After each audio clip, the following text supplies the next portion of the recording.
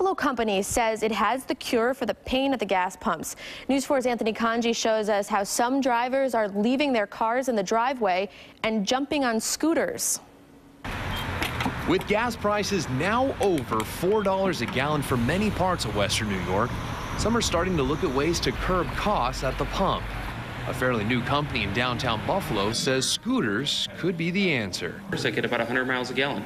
Some top over 100 miles a gallon. Usually hold anywhere from a gallon to two gallons of gas. So on fill up, that costs around $6, going 150 miles. The company just opened its doors last spring and are expecting an uprising in their second season with gas prices as high as they are. Most people still own a vehicle, but this is for those nice summer days. Barbara Luscombe has owned her scooter for about four years.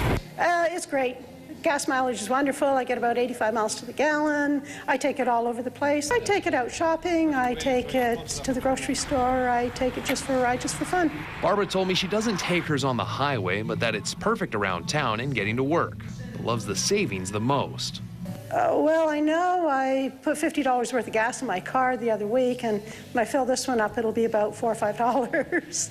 The smallest scooters, which have 50 cubic centimeter engines, do not require a motorcycle license.